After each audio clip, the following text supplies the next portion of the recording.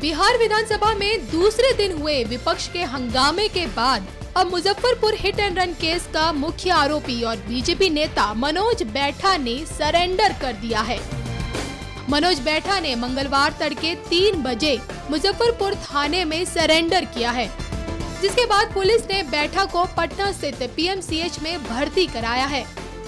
आपको बता दें कि मनोज का दुर्घटना के दौरान लगी चोटों का यहाँ पर इलाज होगा।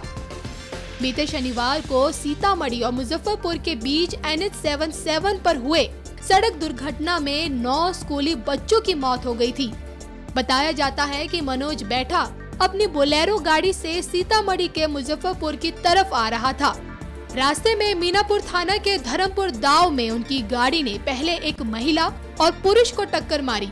इस टक्कर के बाद भागने की फिराक में मनोज बैठा ने सड़क किनारे बच्चों को कुचल डाला।